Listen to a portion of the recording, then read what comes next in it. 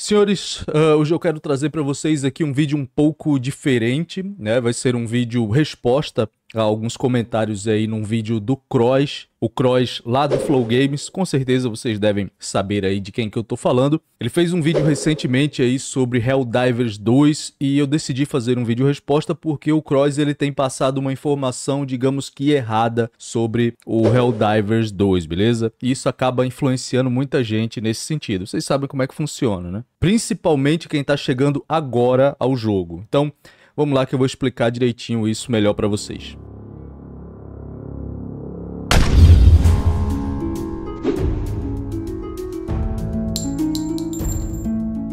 Ok. Beleza, guerreiros? Como sempre, satisfação enorme ter todos vocês por aqui. Eu sou o William Ruff. E como eu disse, hoje é dia de fazer um vídeo um pouco diferente aqui. Na verdade, eu já tinha até pensado em fazer é, um vídeo explicando essa questão de que tem muita gente que não entendeu a proposta do Helldivers 2. Na verdade, é a mesma proposta do Helldivers 1, né? Só que melhorada. E entre essas pessoas que meio que não entenderam essa proposta está o Cross, aí, o Cross do, do, Flow Games, o Cross dos canais dele, né? Ele tem vários seguidores aí, vários canais, um canal inclusive com mais de um milhão de inscritos, tá meio parado, mas ele tem também, enfim. E já que ele é um cara totalmente aberto aos debates, vamos lá vou trazer aqui a minha opinião sobre isso. Quer dizer, tem coisa aqui que nem é exatamente a minha opinião, são fatos, né? Então, vamos lá porque tem muita coisa para falar aqui, beleza? Pois bem, vamos lá então, uh, sem enrolação, vamos falar sobre esse vídeo aqui do Croy especificamente. Foi uma resenha honesta, né? Um tipo de vídeo que ele faz lá no canal dele, no Eu Joguei. E aqui, logo no início, ele já diz que o jogo é pra cracudo, né? Que é um jogo repetitivo e tudo mais. Vamos ver aqui o trecho.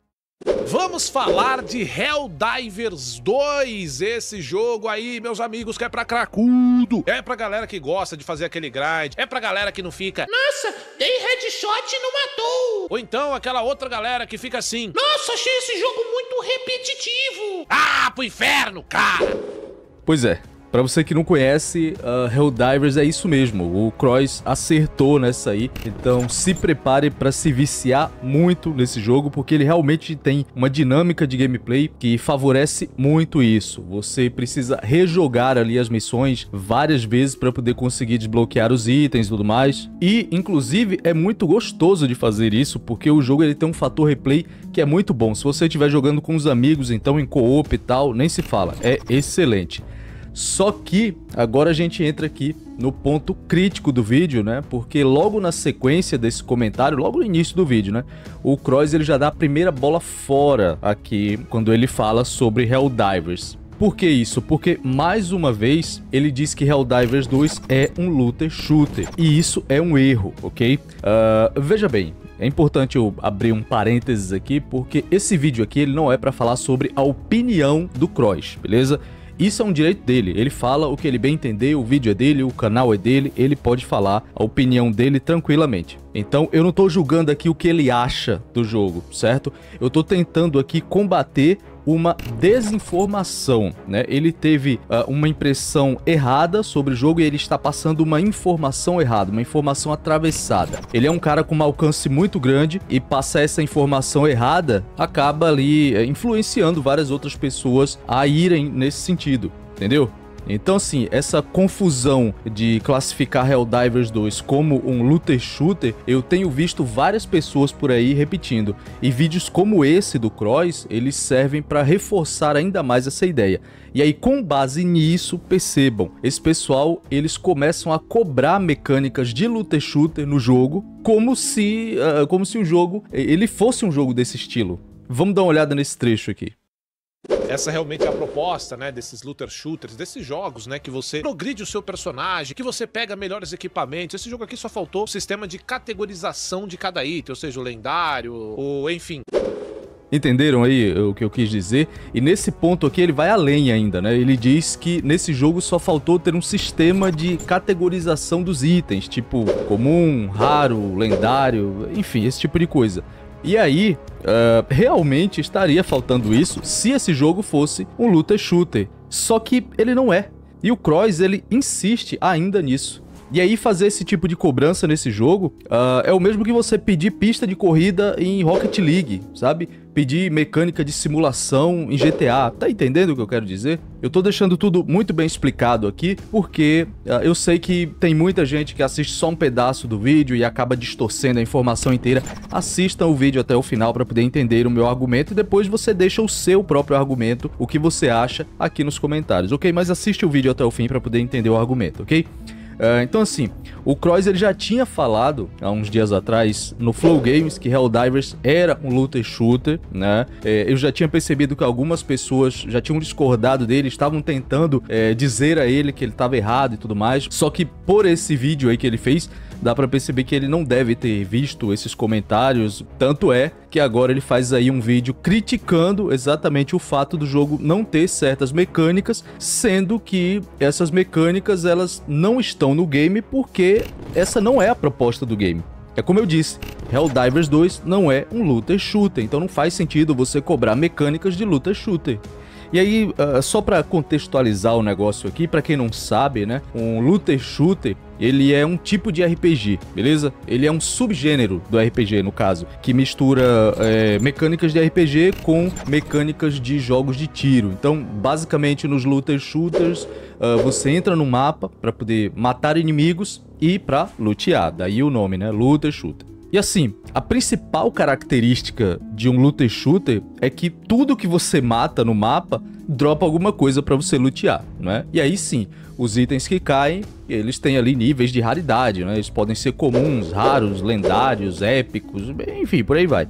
Outra coisa bem comum nos looter shooters são os níveis dos inimigos, né? dos itens e por aí vai. São jogos como Destiny, como The Division, como Warframe, que inclusive o próprio Cross compara a todo momento aí com Helldivers 2, uma comparação que não faz sentido nenhum.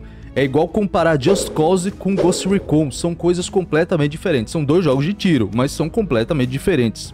Para quem já jogou o primeiro Helldivers, eu acho que eu nem preciso falar isso aqui, porque uh, o cara sabe que uh, ele não se encaixa em nenhuma dessas características que eu citei agora, que são as características do looter shooter. Primeiro que ele não é um RPG, não é um looter shooter, nem, nem nada disso. Ele é basicamente um extraction shooter, beleza? Ele tem algumas mecânicas de tiro tático também, de um tiro tático mais casual, mas definitivamente luta e shooter ele não é, beleza?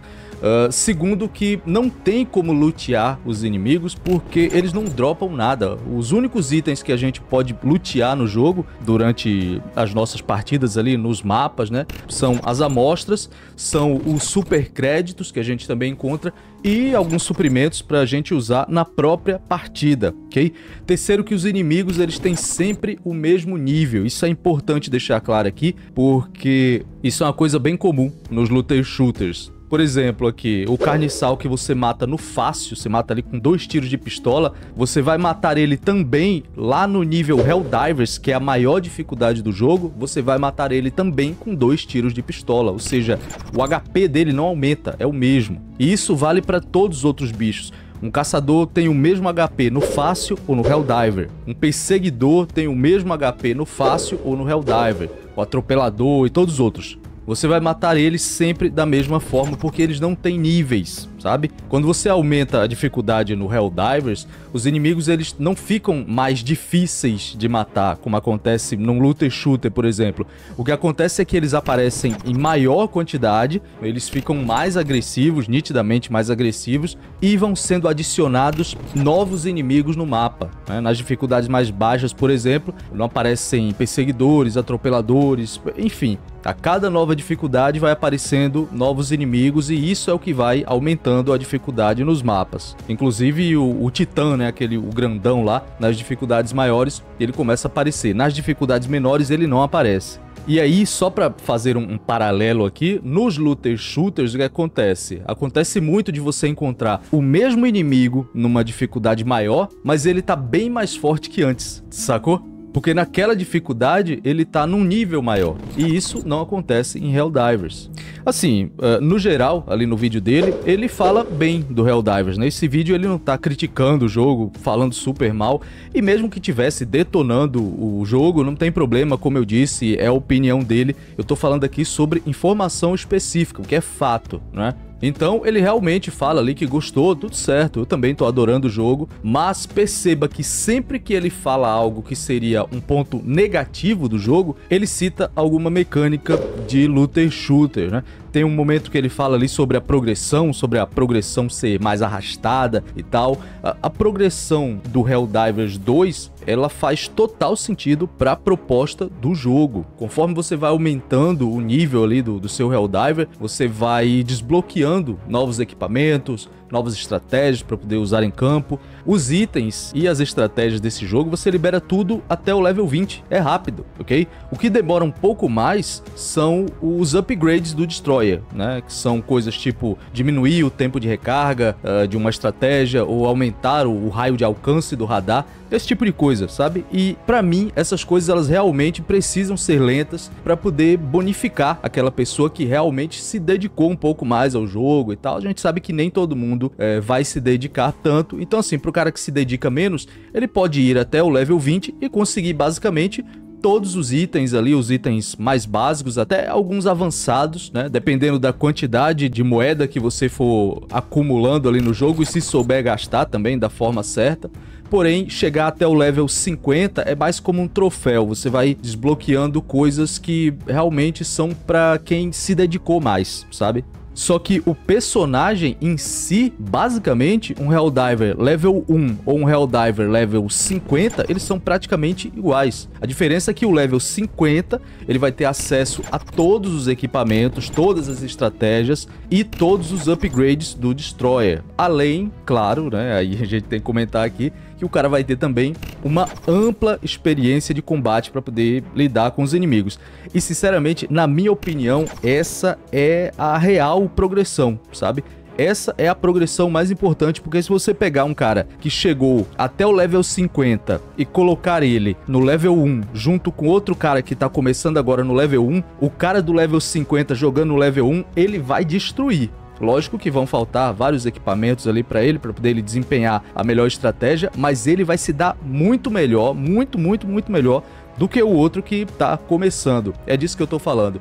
Então, essa questão da experiência de combate para poder lidar com os inimigos, eu acho que, sinceramente, é a principal das progressões. É diferente, por exemplo, de um looter shooter, onde você, conforme vai upando, você vai ficando mais rápido, uh, sua mira vai ficando mais precisa, conforme você vai colocando pontos ali de dano, você vai causando mais dano também. Num looter shooter, basicamente, quanto mais você joga, mais você fica forte. É simples assim, sabe?